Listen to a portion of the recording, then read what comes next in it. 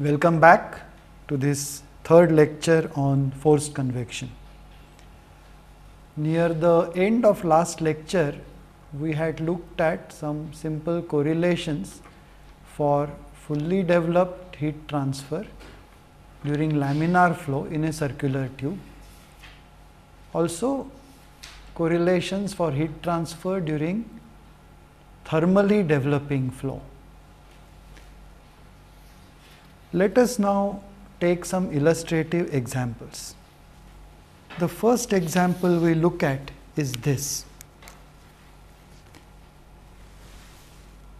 Let us say we have a tube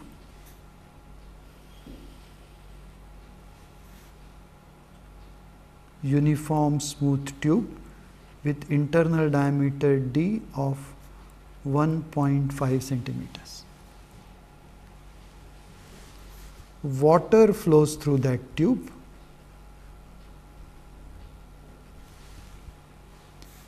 at a rate of 50 kilogram per hour.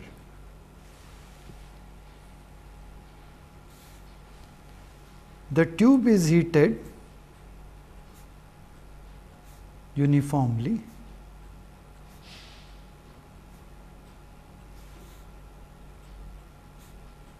at a uniform heat flux.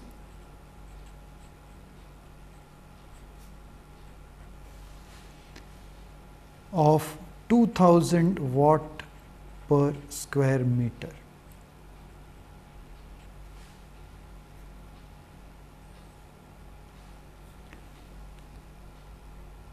At some locations head,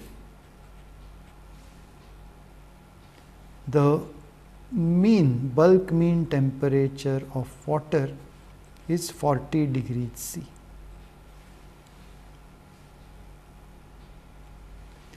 We will assume that the velocity and temperature profiles are fully developed at this location and we have to determine what is the local heat transfer coefficient at z and we also have to determine what is the wall temperature at z.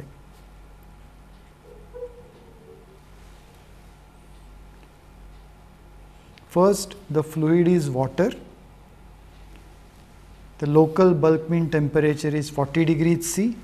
So, we have to determine properties of water at 40 degrees C.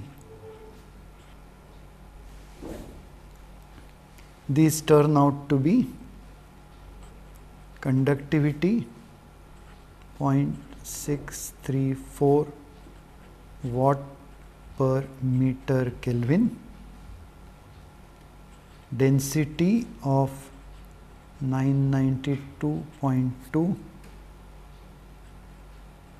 kg per meter cube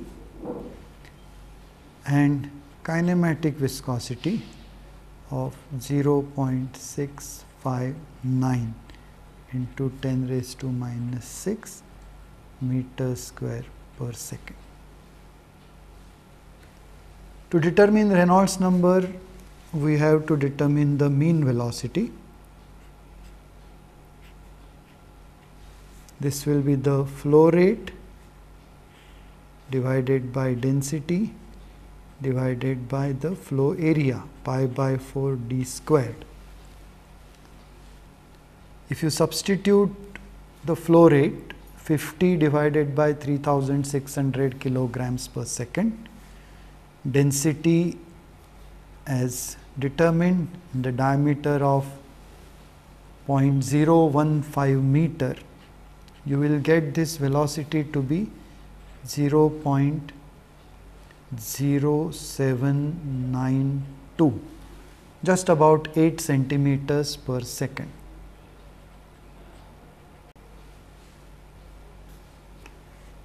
Next, we determine the Reynolds number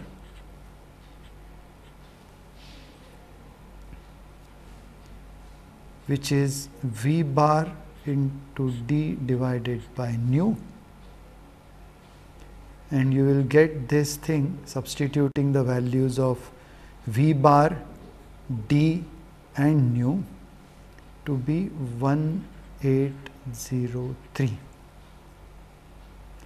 This is less than 2000 or say 2300 hence flow is laminar. This is the first step. Now we have laminar flow.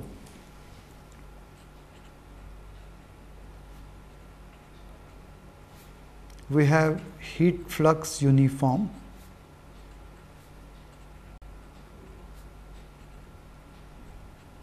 We have already assumed fully developed velocity and temperature profiles. And hence we can use the result for the fully developed constant heat flux laminar flow situation in a circular tube which will give us the local Nusselt number out there as 4.364. The Nusselt number by definition is local heat transfer coefficient into the diameter d divided by the thermal conductivity k. So, we know the Nusselt number, we already know the diameter, we have already determined the thermal conductivity. So, the local heat transfer coefficient turns out to be 184.4 watt per meter squared per Kelvin. That is the first conclusion. Now, the heat transfer coefficient itself is the heat flux, it is uniform. So, we do not have to use the subscript z divided by the wall temperature at that location minus the mean temperature at that location. So, we know the heat transfer coefficient, the wall heat flux is specified 2000 watt per meter squared, T m z is specified 40 degrees C. So, only unknown this equation is T w z and if you calculate that out it turns out to be 50.8 degrees C.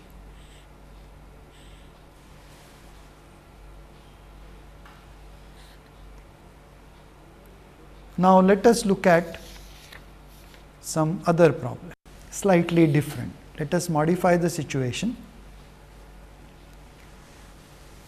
Let us say we have a very similar tube, in fact, a very similar situation. Same diameter,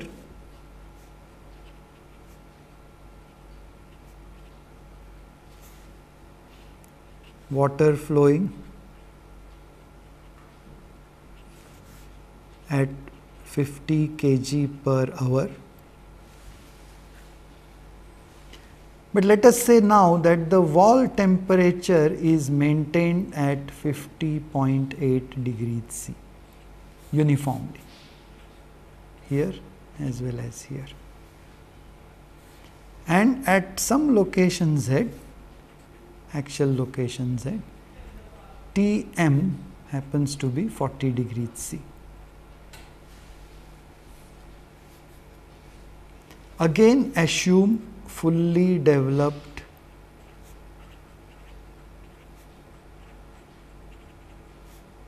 Velocity and temperature profiles. And we have to determine the heat transfer coefficient at that location. And the wall heat flux at that location.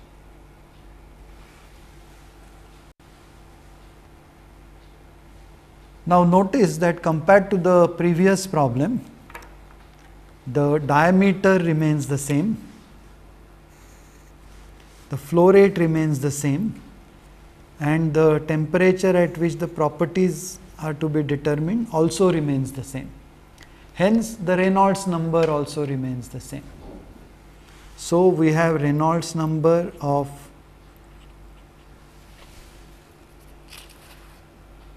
one eight zero three. That means it is laminar flow.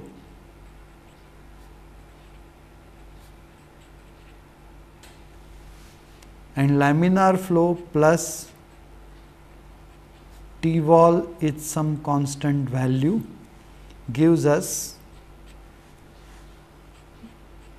the situation where the local Nusselt number based on the diameter is 3.657. This will now be the new Hz into d by k. d and k are no different from the previous illustrative example. Nusselt number is lower, hence our heat transfer coefficient will also be lower and that turns out to be 154.6 watt per meter squared Kelvin.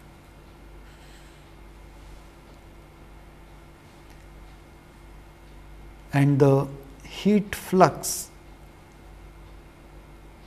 at the wall at that Z is calculated as heat transfer coefficient into wall temperature at that location minus the mean temperature of the fluid at that location and this turns out to be 1669 watt per square meter. So, notice that uh, uniform heat flux boundary condition gave us a slightly higher heat transfer coefficient. A uniform temperature boundary condition will give us a lower heat transfer coefficient and hence a lower heat flux. Again, I would like to bring your attention to this assumption that it is a fully developed velocity and temperature profile in this case as well as in the earlier case. Suppose the velocity or in particular the temperature profile were not fully developed, then what would happen? Remember that in the thermal entry length, the heat transfer coefficients are higher than in the fully developed situation. Hence, under the assumption of fully developed velocity and temperature profile, we have obtained perhaps the lowest possible heat transfer coefficient in either the first case or the second case. And hence, in the first case we have obtained because the heat transfer coefficient was perhaps the lowest an estimate for the highest possible temperature of the wall. If the heat transfer coefficient were higher that would be lower than the value computed. And in the second case we have determined perhaps a lowest possible value for the heat flux because during the development region thermal entry length the heat transfer coefficient will be higher and hence the heat flux will also be higher. So, remember that the fully developed situation acts as a limiting situation for the entry length problem. Now, let us look at a third problem. Again we have the same tube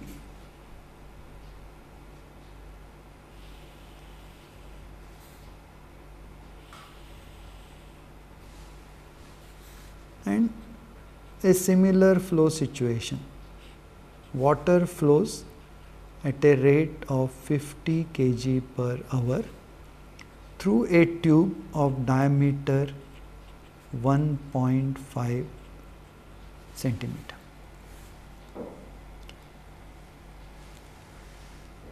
the inlet temperature of water TMI is 30 degrees centigrade.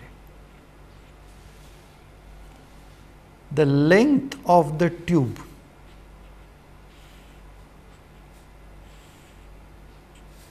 is 1 meter. We have a fixed length of tube. The wall of the tube is maintained at a uniform temperature of 70 degrees C.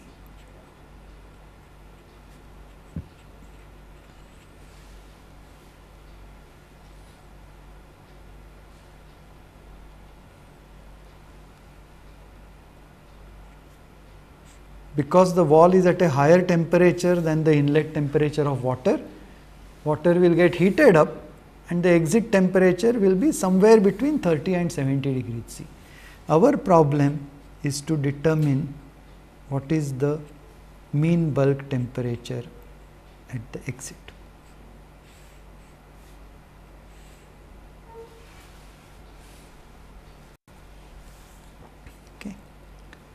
Now, this is a problem where we will have to consider the average heat transfer coefficient over this length and relate the answer to that.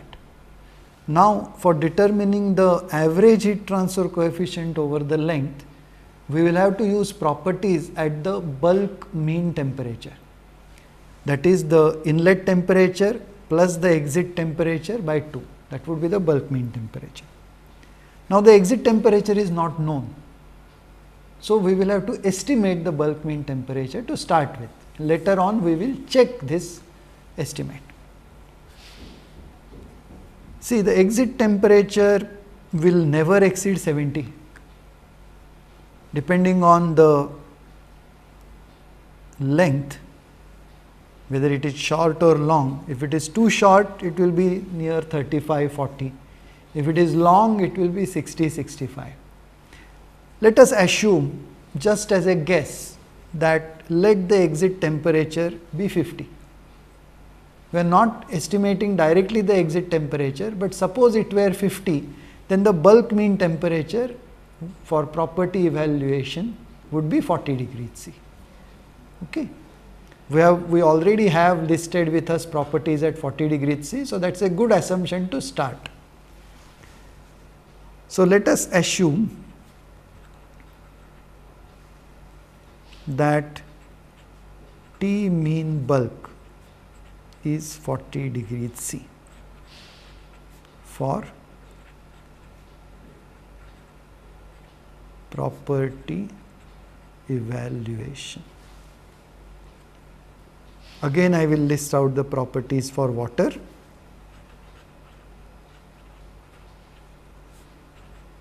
Rho 992.2 kg per meter cube K 0.634 watt per meter Kelvin nu 0.659 into 10 raised to minus 6 meters square per second. Prandtl number equal to 4.31 that is dimensionless. Cp equals 4174 joules per kilogram Kelvin. We have the same flow rate, same diameter, same properties. So, the Reynolds number turns out to be 1803 which implies that the flow is laminar.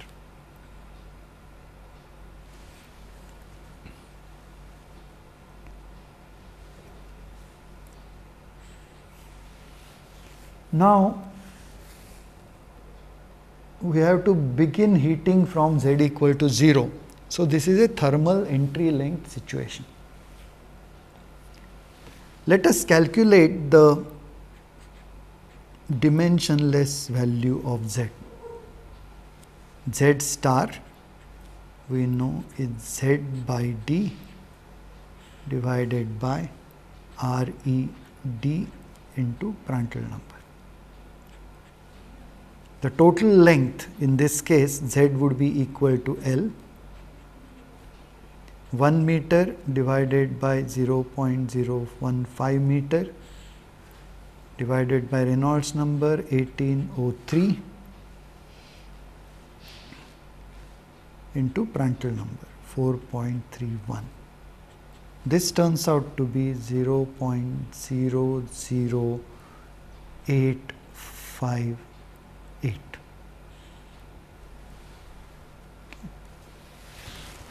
Now we look at the correlations which we saw yesterday for thermal entry length.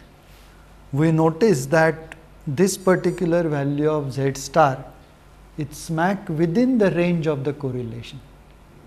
It's not large and beyond the correlation where we will say that look it's almost fully developed. So, we will have to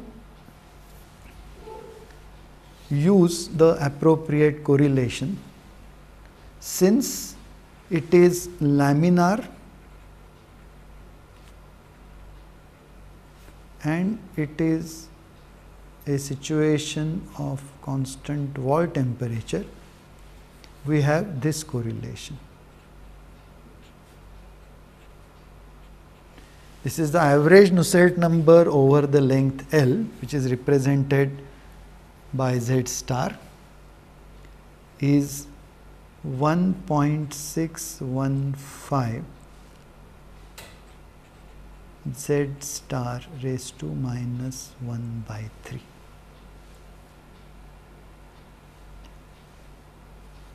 This turns out to be 7.889. If it were fully developed, this would be 3.634. So, this is significantly higher than that, not quite twice, but definitely more. Why? More than twice. Now, this Nusselt number is nothing but the mean heat transfer coefficient or the average heat transfer coefficient over that length multiplied by d divided by k.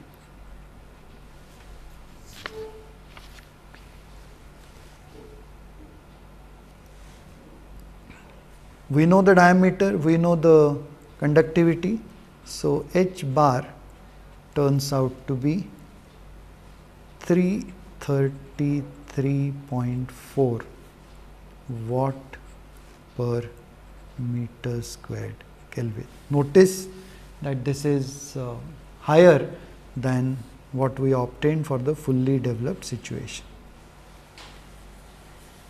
Now we know the area of the tube pi into d into L everything is known.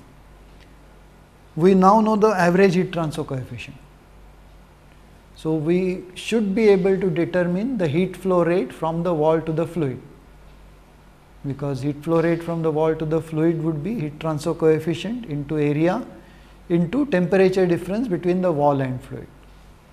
However, because it is a constant heat flux, constant wall temperature situation, we have a uniform wall temperature.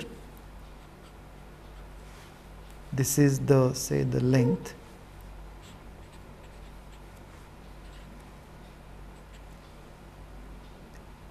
This is 70 degrees C.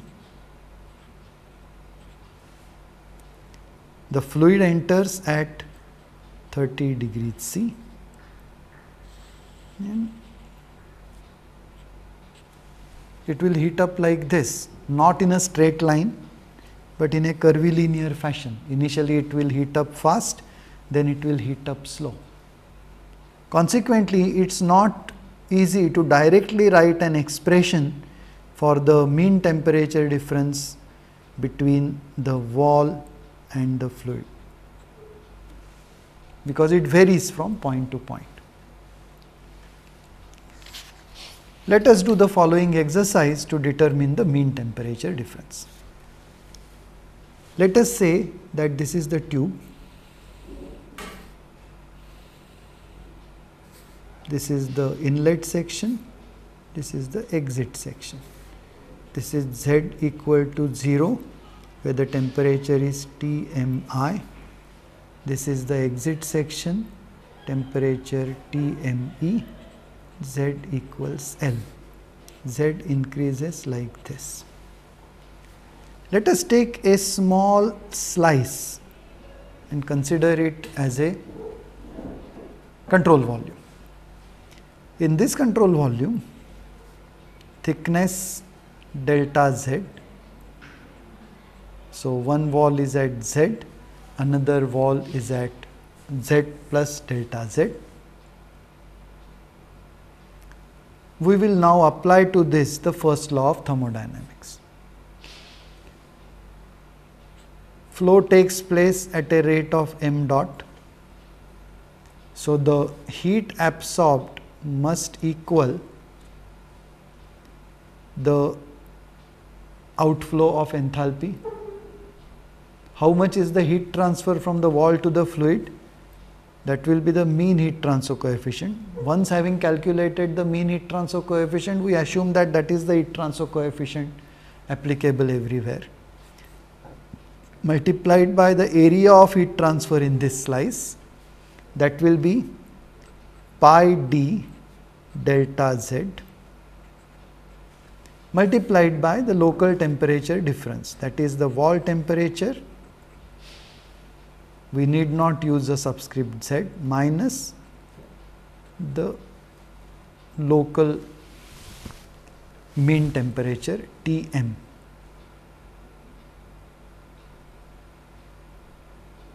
or Tm at z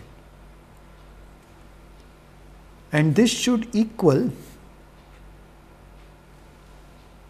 m dot into enthalpy out minus enthalpy in and that would be equal to m dot into Cp of the fluid into Tm at z plus delta z minus Tm at z.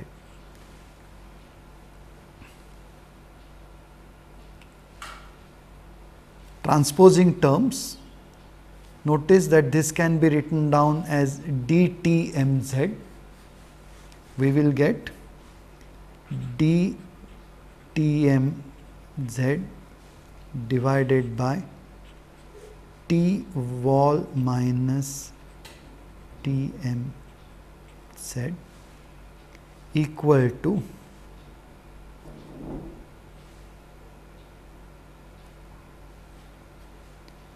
h bar pi d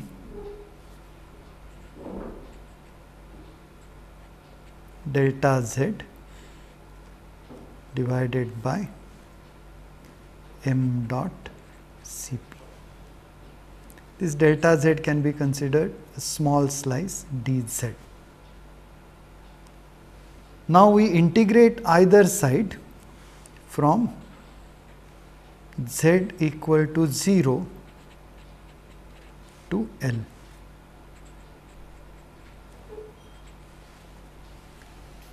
The resulting equation is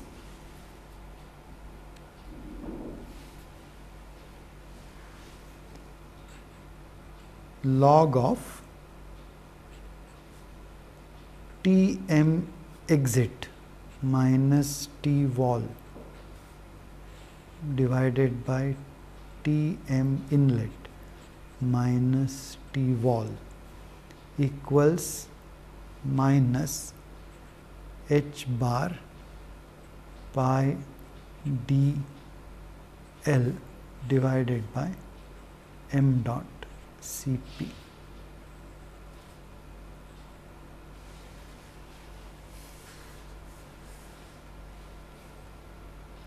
Now notice that in this expression we have the values of everything except TME.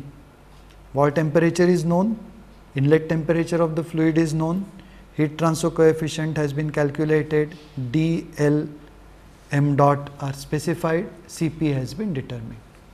So, if you substitute you will get ln Tme minus wall temperature of 70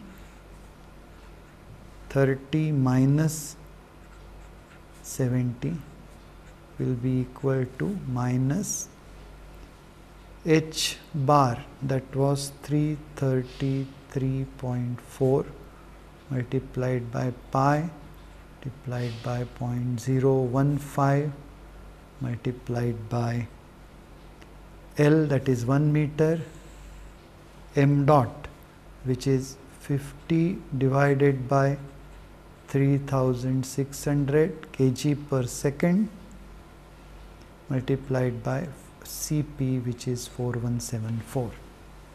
Solving this for TME, notice that the right hand side is negative and that means this argument of the logarithm will be a number less than 1 and that means the numerator will be smaller in magnitude than the denominator. The denominator has a magnitude 40, so the numerator will have a magnitude less than 40. So, TME will be higher than 30, it will be somewhere on the side of 70, higher than 30 but lower than 70. And if you calculate TME, that turns out to be 53.8 degrees C. Now, we started off by having assumed the bulk mean temperature. We needed that assumption to determine the properties. We had assumed 40 degrees C. Let us check that assumption. The bulk mean temperature now turns out to be inlet bulk temperature plus exit bulk temperature by 2 average of inlet and exit. This turns out to be 41.9 degrees C. We had assumed 40 degrees C. It is different higher by about 2 degrees C. Properties will be slightly different. If one insists, one can now recalculate the properties at say 41.9 degrees C, go through the same exercise and maybe you will get a slightly improved value of TME. If this assumption were to differ from this calculated value by a very significant amount, say 10 degree, 15 degree, then it is definitely worth redoing the calculation with the new corrected value of the bulk mean temperature because the properties would change reasonably significantly. With a temperature difference of about 2 degrees C, they are unlikely to change, but anyway it may be a good exercise for you to check that out. After having studied laminar flow through a tube, let us now look at turbulent flow heat transfer in a tube or a pipe circular one. Unlike laminar flow because of the eddies formed during turbulence and turbulent mixing, turbulent flow is invariably difficult to analyze, much more difficult than laminar flow. And hence, we obtain information for turbulent flow essentially from experiments and all the correlations or almost all correlations which we have for turbulent flow are based on experimental data. In a way turbulent flow is slightly simpler because in turbulent flow the effect of the boundary conditions are small.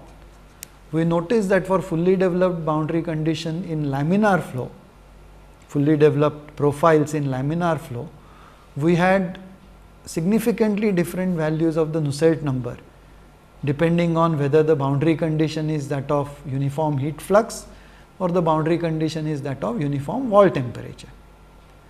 In turbulent flow because of the mixing of all laminae, this different re difference reduces significantly.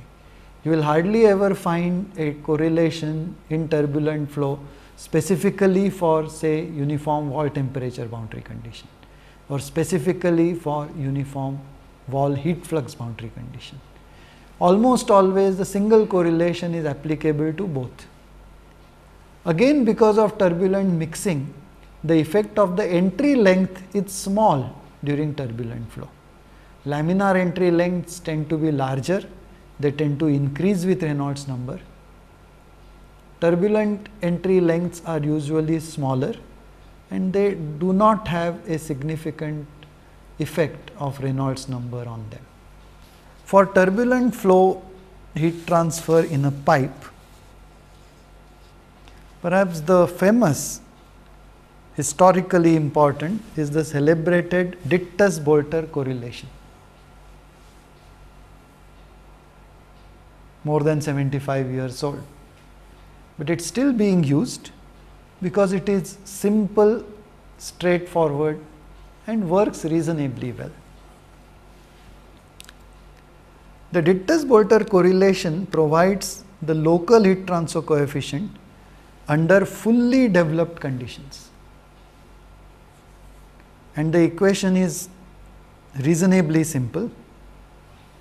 The Nusselt number is a function of Reynolds number and Prandtl number and is equal to 0.023 into Reynolds number raised to 0.8, Prandtl number raised to some exponent n, where the exponent n is 0.4 for heating and 0.3 for cooling. So, heating data correlates well with n equal to 0.4 cooling data correlates well with n equal to 0.3. For this correlation, we will have to determine properties which are evaluated at local bulk mean temperature to determine the local heat transfer coefficient. But if you are considering an average heat transfer coefficient over a length, you must use the bulk mean temperature over that length. It is reasonably wide in its validity. Prandtl number going from 0.3 right up to 100. So, water is included, air is included and some not very high viscosity oils are also included. And Reynolds number in the turbulent zone from 2300 to something like 120,000.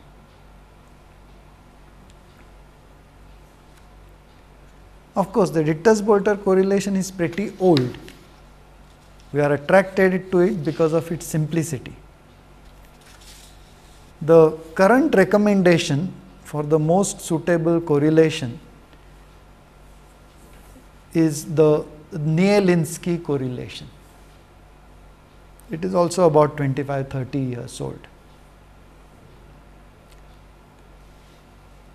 Notice that here the Nusselt number is provided as a function of not only the Reynolds number and the Prandtl number, but also the friction factor for flow through that tube. And the friction factor itself will have a dependence on Reynolds number. So, it has a reasonably complicated dependence on Reynolds number as well as Prandtl number. This also provides the local value of the heat transfer coefficient when the velocity and temperature profiles are fully developed. Again like the Dittus-Boelter correlation, the properties are evaluated at the local bulk mean temperature. It has a slightly wider validity, Prandtl number going from 0.5 to 2000. So, some reasonably high viscosity oils are also included. The Reynolds number going from 2300 to 5 million. This also is a higher range. Depending on the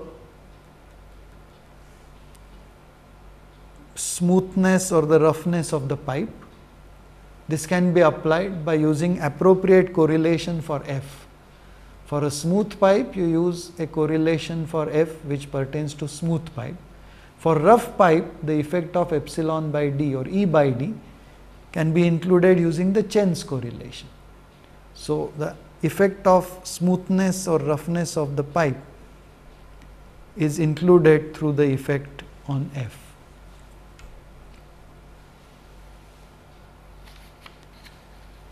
Let us take an illustrative example based on the Gnielinski correlation. We are now going to look at the same old pipe with which we were playing around.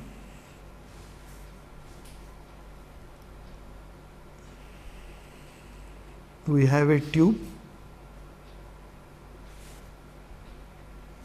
of some length L which we are going to determine here. It is given that the diameter is 1.5 centimeter. The wall temperature is maintained everywhere at 90 degrees C. the inlet temperature is 50 degrees C. We want the exit temperature to be 65 degrees C. So, this is a design problem where we are not given the length of the pipe, we are given the requirement that the exit temperature should be 65 degrees C and we have to determine the length of the pipe. The fluid flowing through this is water and the velocity is 1 meter per second at inlet.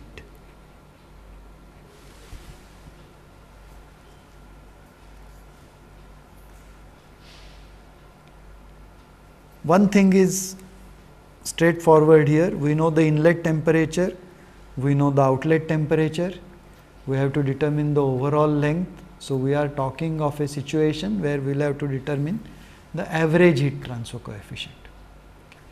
We know the inlet temperature and outlet temperature. So, we can determine the bulk mean temperature 50 plus 65 by 2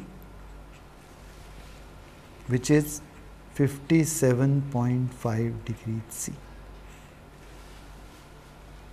And at this for water the following properties will be interpolated out. So, at 57.5 degrees C the properties of water are density 984.4 kg per meter cube. Kinematic viscosity 0.497 into 10 raised to minus 6 meter square per second. Cp 4178 joule per kilogram Kelvin. Prandtl number 3.12, conductivity 0.656 watt per meter Kelvin. Now we need to know the velocity at the bulk mean temperature where the density is 984.4. What is specified is velocity at inlet. So, we need to determine at inlet density will be density at 50 degrees C and this turns out to be 988.1 kg per meter cube. Using this density and the velocity at inlet, let me call this V bar i, we get m dot is rho at 50 degrees C multiplied by pi d squared by 4 area multiplied by the mean velocity at inlet. This turns out to be 0.1746 kilogram per second.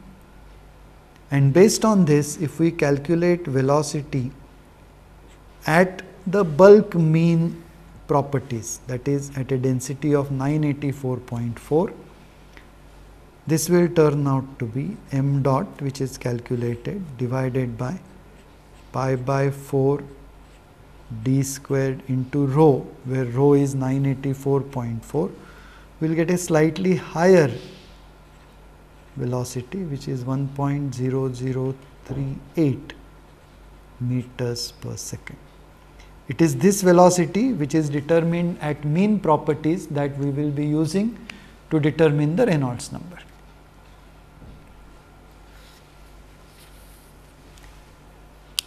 The Reynolds number is now calculated as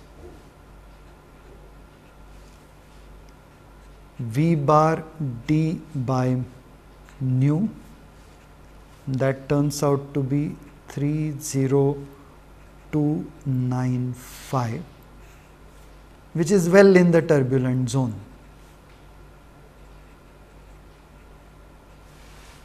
Prandtl number is already greater than 0.5 so, in principle the Gnielinski correlation should be applicable. For that first we have to determine the friction factor assuming the tube to be smooth there is no specification of any roughness we will use the smooth tube correlation 0.079 RED raised to 0.25 which is the recommended correlation for smooth tubes to be used with the Gnielinski correlation. You will get 0.005988. And if you use the Gnielinski correlation, you will get the Nusselt number which because we have determined it at average properties, the average Nusselt number which turns out to be 152.98 which is h bar d by k from which we get h bar equal to 6690.3 watt per meter squared Kelvin. See the high value a few thousands for this.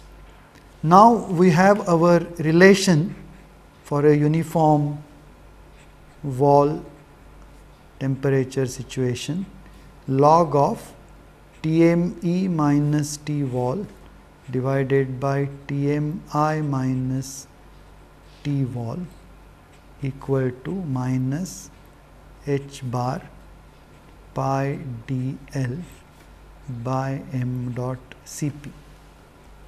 Now, we have been specified TME, TMI, TW, left hand side is known.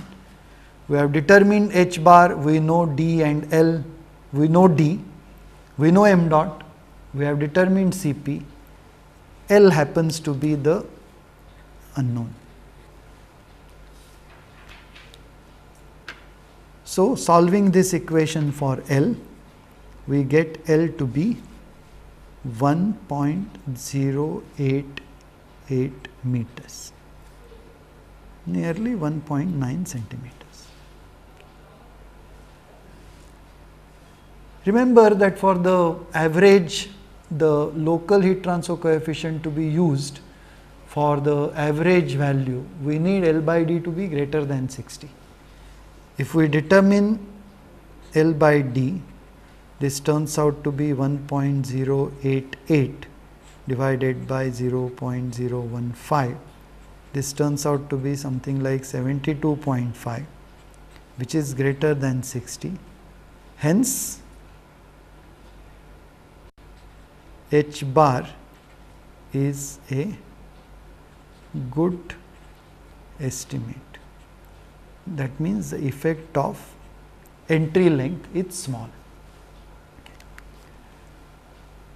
With this we come to the end of this lecture and with this we complete the basic study of uh, force convection heat transfer through a tube In the next lecture, we begin a study of heat transfer from a flat plate exposed to a free stream.